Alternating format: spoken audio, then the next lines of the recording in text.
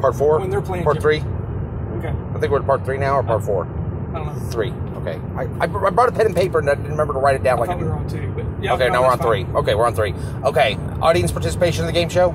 Yeah. The whole play along factor is always key I to any game I- show. Yeah, I think the play along factor is, is, is how you really involve folks. I mean, because with Jeopardy, we're all playing Jeopardy. We're all answering that question. No, we're all questioning the answer. We're, we're, we're, we're all answering answering the we're, we're yeah We're questioning the answer on Jeopardy. yes yes we're always answering it that way. Um, So, uh, I mean, uh, ten thousand dollar pyramid, all those shows. I mean, you know, you're You you're- sit there and you're you watching think- the timer. You know, and you're sitting there and you're thinking the clue, the clue, the clue. right? Dick Clark was always so great on Pyramid of showing up, walking up there, and leaning on the podium if you screwed up in the winner's circle, because Dick always had the Yes. best possible answer. Yes. There's a clip on YouTube. Vicki Lawrence rips him a new one the minute he walks up Yes. after he gives the perfect answer, Yep. and she calls him on it. Vicki was always great at calling Dick out. And it was also yeah. What he was also good at is is that yeah, after they would eh, and they couldn't get it, he would walk up and say one thing, and then the, They get it. Oh yeah, The obvious yeah, thing. the obvious. But that's the thing. I mean, when you're under when you when you're under When you got the hot lights, the TV glare, the when you're under camera, etc. When you're under pressure, you, you can't you don't think that way. Yeah. The first thing that always uh, the first mental Mm-hmm. uh, aspect that always starts to drop in efficiency when you're under pressure is math. Mm-hmm. And if it's a number or something numerical or something that you have to count or something like that, your, your, your brain doesn't work as well under pressure when it's trying to calculate math. So I mean that's why That's why people struggle on the prices right because of all the lights and stuff like that. Exactly. You're trying to remember numbers, right? Yes. Prices of things, and you're trying to calculate in your head what this is. Yeah, yeah, exactly. Yeah, you know, going back to Drew Carey being a Drew Carey, I think Drew Carey is a really good price host. Drew But but I also think Drew understood going in that it's it's the contestants that are the show. I Yes. mean, he he presents them. Yes. He's not trying to do a lot of one-liners, and he's not trying to do his Now, stand-up routine. Drew did that a little bit the first year though, but it was so weird just trying to. I think Drew was trying to find himself that first year as a host. Right. When he did, when when he started the sitcom, The Drew Carey Show, a lot of that first season was just trying to find themselves and figure out what works Oh, yeah. and what doesn't work, Right. and that's what made it so good. Yep, totally agree. But I mean, anything's like that. And most of those shows, you know, they start out, you know, you, it takes a little while to kind of gel and, and, and, and you really get your niche after you know several episodes.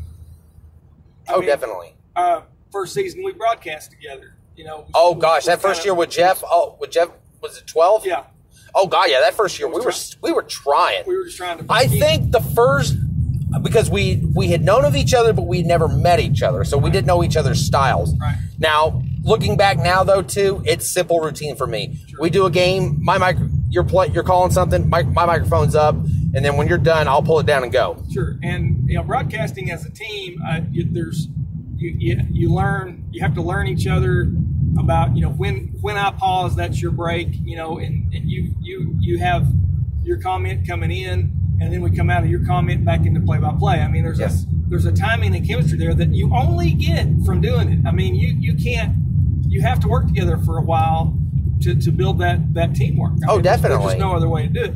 And and your other shows are the same way. I mean, and you can see it's it's the same way for uh, for big broadcasters, whether it's Yeah. NCAA. Yeah, look at somebody like Brad Nessler or Kirk Exactly. Herbstreit or It, it takes a while. Keith for the, Jackson probably Keith took forever for that. It takes a it takes a while for that crew to start to gel. Monday Night Football back in the '80s with uh, the early '70s. Uh, Monday Night Football was like that. yeah, uh, Cosell Meredith and Don Gifford. Yeah, yeah. Cosell, Meredith, Gifford, those guys. After a season or two, they really started to come together, and that was just that was just a fantastic. Oh, that was great stuff. yeah, they were great. honestly believe though too the show was never the same after Meredith left ABC to go to NBC. The, it was never the same. it was never the same after Cosell left. To me, I mean, he, I mean Howard Cosell. Just I thought he was a fantastic. Actually, I will say this though too. I actually do defend the Dennis Miller era of Monday Night Football. The two years he did it, he actually did all right. He was actually smart and knowledgeable. He did okay. He did a playoff. They did a playoff game in New Orleans, and he did really well. He was smart, but he wasn't over the top smart. right. I just I, Dennis Miller did do okay on Monday Night Football. He did. Uh, I'm, I'm, I'll give him that. But to me, I, I still had this image in my head of him as you know doing stand up or doing the Dennis Miller show Or Saturday Night Live, or Saturday. Night Live. You know, yeah, you know the the, the smiling wisecracker, uh, and he just to me he never pulled off the professional broadcaster genre. I mean, now when you have a professional football player that retires and goes into broadcasting, I'm still associating him with football. Yeah, exactly. But but these other guys, you know, just yeah, I don't. I'm not seeing it. I mean. And I think he did okay for who he is, but I think he in, in my mind he was just always that guy. He, he, he Yeah. was never he was never the broadcaster that I was looking for. okay, I get that.